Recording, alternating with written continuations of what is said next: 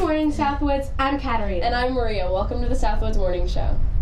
Today is Thursday, March 12th, and it is a red day. This Friday is the last call for contestants in the annual chess competition. Come see Mr. Ryan in room 115 during your lunch period to sign up. This Friday's pajama day. Wear your favorite sleepwear. That's all for today. Have a The Outsiders Thursday.